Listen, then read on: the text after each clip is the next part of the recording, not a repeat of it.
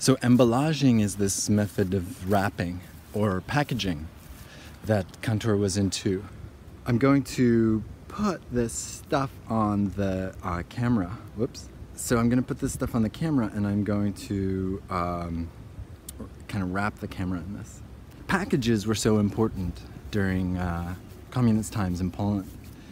If anybody ever got out of Poland, they sent packages home with all sorts of things that you couldn't get in Poland. I wanted my emballage to be different. I wanted it to symbolize a bio object. Unfortunately, the putty is not stable enough for the stage. All categories and concepts lose their meaning and right to exist.